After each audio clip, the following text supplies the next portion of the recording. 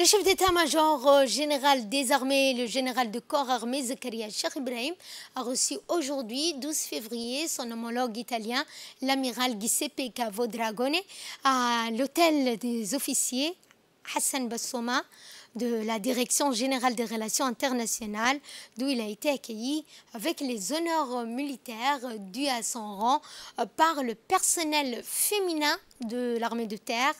de l'air, de la marine nationale, ainsi qu'au rythme des hymnes nationaux respectifs des deux pays.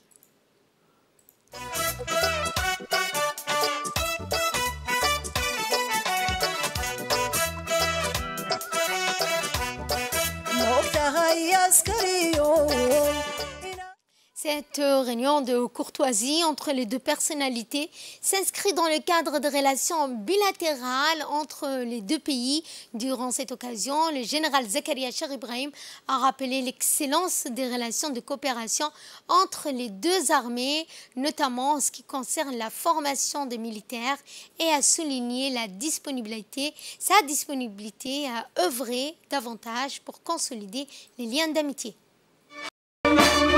Thank you.